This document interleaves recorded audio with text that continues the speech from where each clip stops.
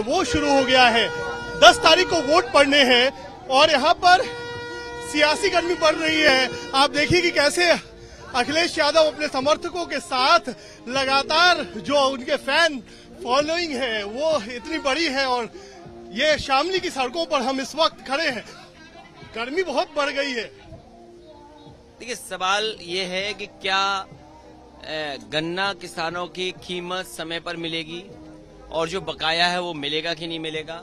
जो वादा किया था भारतीय जनता पार्टी ने कि आय दोगुनी होगी किसानों की, और जिस तरीके से कमाई लगातार नीचे जा रही है और महँगाई बढ़ती जा रही है तो किसान परिवार के घर में खुशहाली नहीं है। तो जब सवालों का जवाब नहीं आएगा किसी के पास, स्वाभाविक है, उत्तर प्रदेश को डबल इंजन की सरकार ने बर्बाद कर दिया। शिक्षा का क्षेत्र बर्बाद है, रोज़गार है नहीं तो गर्मी तो स्वाभाविक आएगी। जो खिसियाता है जिसके पास जवाब नहीं है, वो गर्म होता है। गर्म वो नहीं होता है जिसके पास जवाब हो। जिसके पास जवाब नहीं है, वो ज़्यादा गर्म है। इसलिए ये गर्मी, सर्दी की बात नहीं है। सवाल ये है, क्या किसान खुशहाल होगा कि नहीं होगा? और ये चुनाव भारतीय जनता पार्टी बनाम भाईचारा है। अच्छा आपने कहा कि भारतीय जनता पार्टी बनाम भाईचारा है। लेकिन जिस तरीके से मुख्यमंत्री की भाषा है, उस पर भी आपने सवाल खड़ा किया क्या लगता है कि इस समय जब चुनाव चल रहा है तो ऐसी भाषा इस तरीके की बातें करना किसका अधिकार क्षेत्र आता है? कैसे ये सारी चीज़ों अ, मुझे उम्मीद है कि इलेक्शन कमीशन इन चीज़ों को नोटिस करेगा और स्वाभाविक है इलेक्शन कमीशन देख रहा है आचार संहिता का उल्लंघन होगा भाषा के रूप में या नियमों के रूप में वो ज़रूर इस बात पर देखेगा कि आखिरकार एक भारतीय जनता पार्टी हारती हुई पार्टी की भाषा क्या है।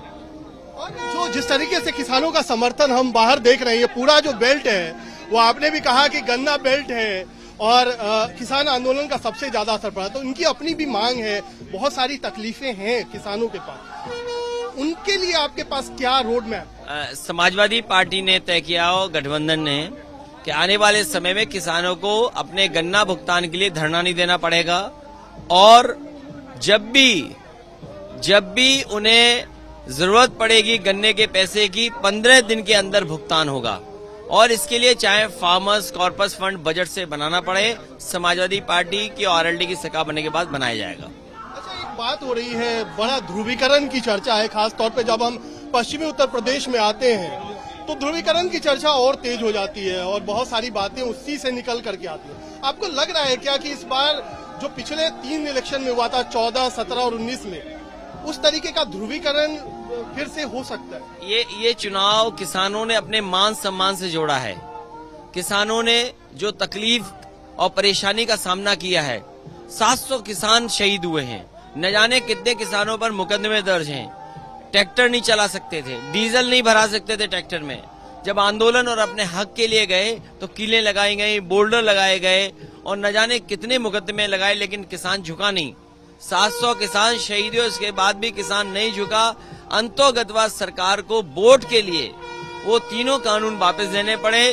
भारतीय जनता पार्टी का एक एक प्रत्याशी अगर कान पकड़ करके 700 बार उठक बैठक भी करेगा तो किसान उन्हें माफ़ करने वाले नहीं है।